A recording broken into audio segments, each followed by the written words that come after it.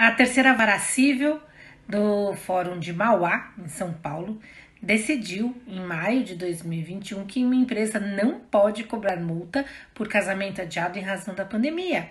Vamos falar sobre isso?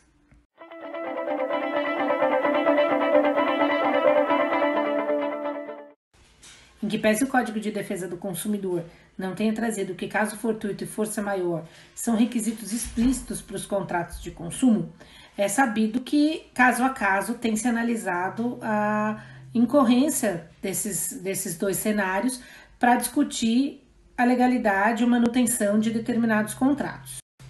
Num processo que tramitou na Vara Civil de Mauá, é, os noivos teriam fechado um contrato para realização do casamento no valor de 62 mil. E aí o evento foi sendo desmarcado porque a pandemia se alastrou por um período maior do que se prevê, né?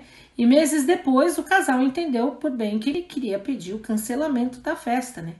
E a empresa então disse que se quiser cancelar tem que pagar multa. E isso foi parar no tribunal lá na cidade de Mauá, no foro de Mauá, e o juiz teve que fazer essa análise, essa análise do caso em concreto. Aplica-se ou não a multa nessas situações?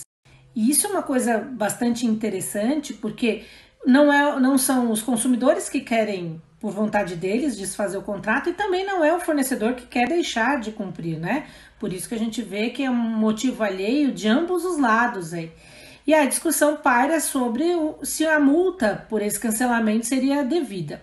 Então, o que decidiu a juíza nesse caso? Que nesse cenário não se afigura razoável aí tendo que cobrar multa se já teve que marcar e remarcar tantas vezes o casamento. É, e aí a juíza ainda uh, apostou no que fala o direito do consumidor, dizendo que a vulnerabilidade neste caso é clara, porque o consumidor ele não pode pagar por algo que ele de fato não vai receber, e não vai receber não porque ele não quer, mas porque há uma situação que faz com que ele adie isso, e por isso o consumidor não pode ter aí essas penalidades impostas, uma vez que não foi ele que deu causa à situação que gerou a rescisão desse contrato.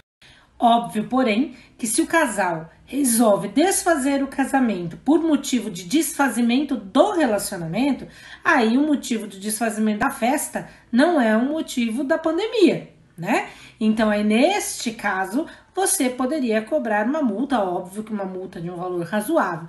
Então, há que se analisar o caso em concreto, as razões que levaram à rescisão é, desse contrato, né? E se for amparado na pandemia, pelo que a gente percebe, os nossos tribunais estão dizendo que não deve haver é, cobrança de multa, tá bom? Essa é a minha dica de hoje aqui no canal Direito com Elas. Até nosso próximo encontro. Tchau, tchau.